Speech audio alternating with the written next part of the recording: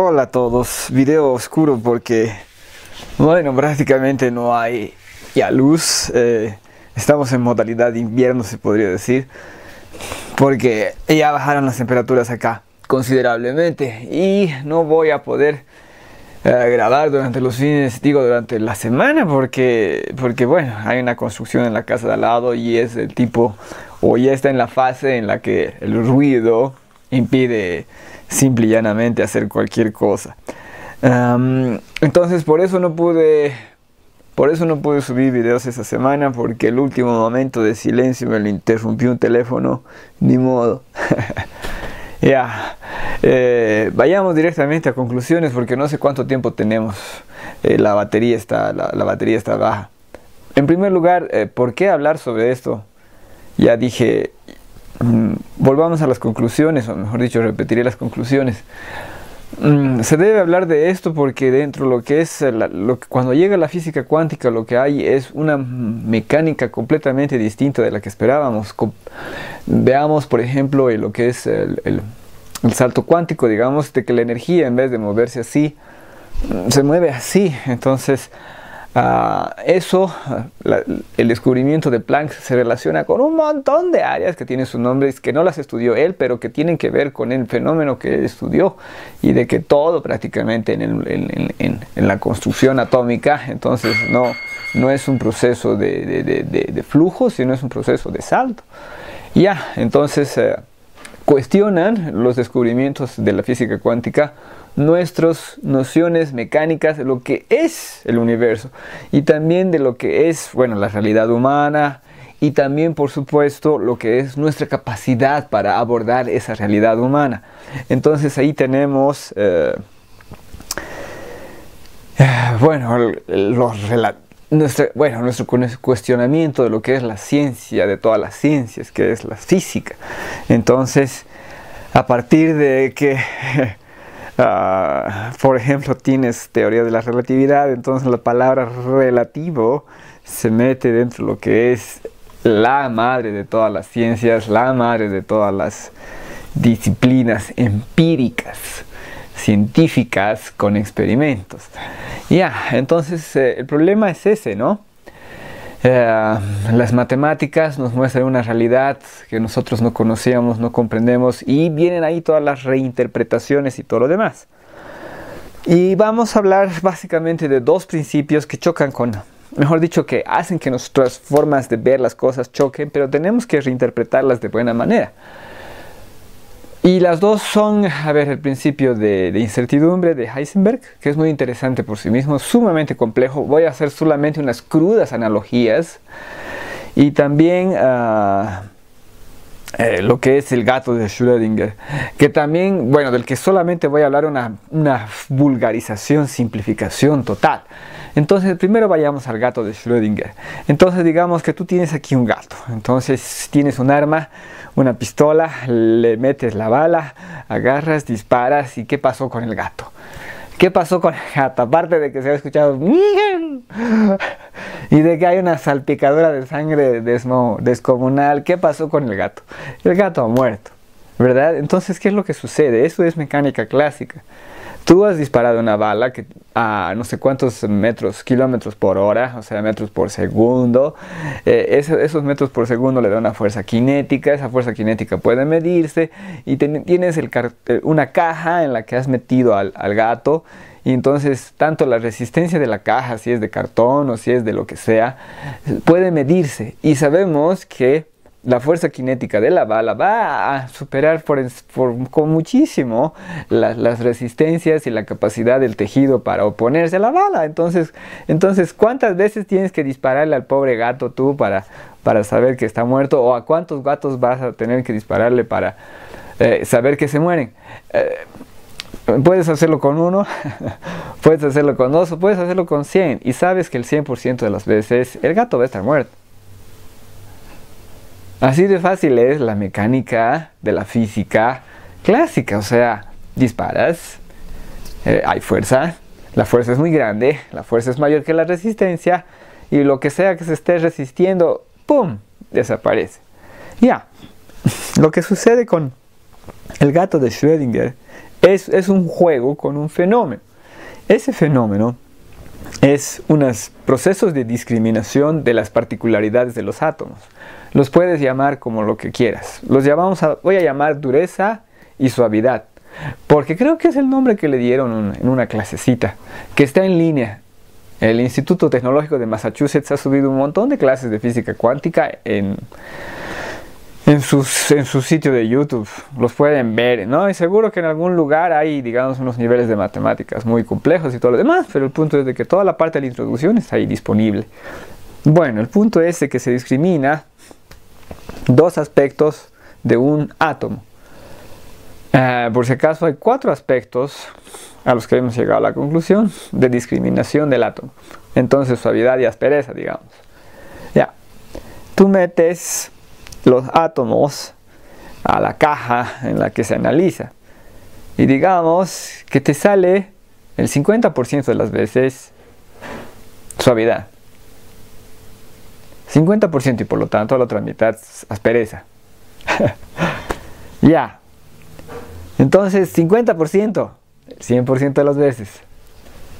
Entonces imagínate que tienes que ah, dispararle a un gato. No con una bala de, física clásica, sino con una bala de partícula de, de discriminación de aspereza o suavidad. Entonces introduces, introduces el átomo y el 50% de las veces, solo el 50% de las veces, vas a poder matar al gato. Digamos que entonces obviamente tiene que activarse un mecanismo, ¿no? Entonces eh, el átomo activa el mecanismo. Y ahí, recién ahí, va a morir el, gatito, ¿no? ve? Entonces, puedes saber si el gato está vivo o está muerto. Solamente abriendo la caja, porque si no es 50-50. Así es, el 50% de las veces va a estar muerto y el 50% de las veces, mejor dicho, el 50% va a estar vivo. Porque no podemos discriminar de mejor manera y no podemos asumir el comportamiento elemental de las partículas elementales, en este caso de átomos, no podemos asumirlas con mayor precisión. Cuando Einstein dice de que Dios no juega los dados, es porque se estaba diciendo estas cosas de la física cuántica están mostrando una naturaleza medio rara. Por si acaso, la teoría de la relatividad y la física cuántica son incompatibles, tienen que unificarse. Las dos, por si acaso, están incompletas en sí mismas.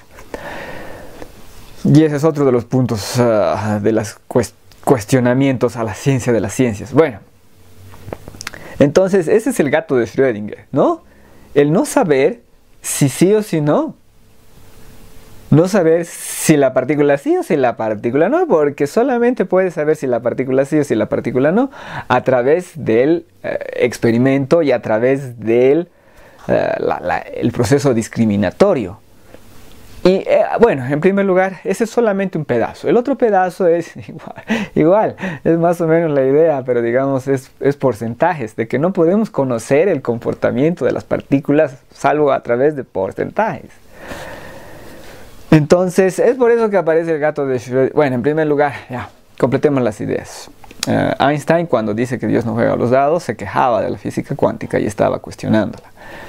Ah, otras personas, obviamente Schrödinger y todos los demás, no, no, les queda otra que, digamos, aceptar esa postura e intentar comprender más a través de esa postura, o mejor dicho, a través de esa mecánica. ¿Qué más? Eh, es por eso que aparecen gatos de Schrödinger ah, en, ¿cómo se llama? En Ricky Morty, en el capítulo en el que destrozan el tiempo, aparecen ahí unos gatos de Schrödinger, ¿no? 50%. Eh, ya, entonces tiene que ver con este juego de variables. Por si acaso hay muchos datos sobre esto, si les interesa profundizar, eso es. Pero básicamente la idea es que solamente podemos conocer ese comportamiento de los átomos de esa manera. ¿Y cómo podemos hacer eso? ¿Cómo podemos eh, estar en un mundo de 50% cuando todo lo demás es 100%? O sea, eh, esto, esto está aquí, 100%, 100%, 100%, 100%, o sea, siempre. Entonces, ¿cómo puede ser que haya un comportamiento distinto a otro nivel? Pues si acaso, eh, las noticias o los informes y las ideas que hay por detrás son todas buenas. Al menos a mí me parecen buenas. Y ahí vayamos al principio de incertidumbre de Heisenberg. Eh, la idea, por si acaso, muy concreta y muy específica, es de que no se puede, ¿cómo es? fuerza y momento, digamos. Son dos aspectos de una partícula o de un átomo eh, que no se, ahí está, dirección y fuerza, que no podemos ah, definirlas precisamente. Entonces, precisamente lo que descubre Heisenberg es de que mientras con mayor precisión quieres definir eh, el, aspecto del comportamiento de la partícula, mayor es tu probabilidad de error. Es como si, es como si digamos, ya, tenemos aquí un, un celular y lo queremos ver, queremos ver de qué está hecho, entonces le sacamos una foto con la mayor resolución posible y lo vemos ahí, o sea, está ahí, ahí está el celular. Sacamos la ampliación y vemos ahí el celular grande y sacamos la ampliación y sacamos la ampliación y sacamos la ampliación y sacamos la ampliación y cada vez lo ampliamos más y más y más y más y más y más y más y más y más y más hasta que estamos ahí ¿eh? en el mundo de las partículas mínimas y queremos ver dónde está la partícula y querer pronosticar dónde está la partícula y alguien dice está aquí y puedes ver que sí, que hay una partícula ahí. Entonces, cierras tu ampliación, cierras tu ampliación, cierras tu ampliación, cierras tu ampliación y te das cuenta que la partícula era tu dedo. Era el, o sea, el átomo del principio de tu dedo. tú pusiste la partícula ahí. Entonces, si tú quieres de verdad ver la partícula, entonces haces la ampliación, la ampliación, la ampliación, la ampliación, la ampliación, la ampliación. Y no los ves. No es que no los veas, no es que no los veas, es que si no puedes predecir y contabilizar ciertos aspectos de la partícula, salvo el instante en que lo estás viendo. En otras palabras, agarras y dices, ajá, aquí la partícula se está moviendo a tal velocidad, tiene tal dirección y tal momento. Y después, ¿qué va a venir? Ah, no, ni idea. Ni idea. Eso es lo que tienes que reconocer. Hay un indeterminismo a nivel de las atómico. Entonces, ¿cómo es posible eso? Si esto está acá así, está hasta aquí, está aquí hasta que te canses, o sea, tu dedo se rompe antes de que...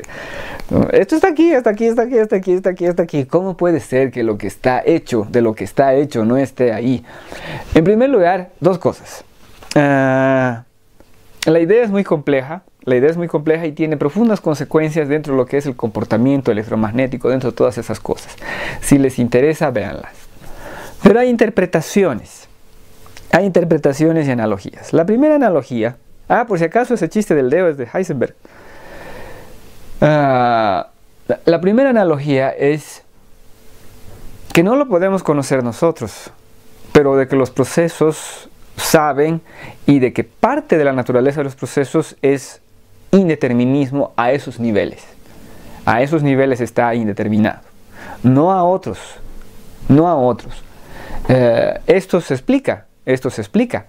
Lo que pasa es, no solamente se explica, se acepta y todo lo demás, sino lo que pasa es que las mecánicas que lo construyen son indeterminadas. Lo que no quiere decir que no haya una complejidad de relaciones y todo lo demás que hagan que esto sea eso. Entonces es a, nivel atómico lo que te estás cuestionando. Es a nivel atómico donde está el principio de incertidumbre. Hagamos una analogía vulgar, ojalá en cierta medida acertada. Digamos que la lluvia, ¿no? Cuando, cuando, cuando llueve, todas las gotas caen. Entonces, digamos, si alguien te dice, no, no es verdad. ¿Y por qué? Porque en primer lugar tiene que haber una diferencia de, temperatura entre lo que es eh, partes del cielo, en otras palabras, esta parte de la atmósfera con esta parte de la atmósfera, para que haya un proceso de condensación.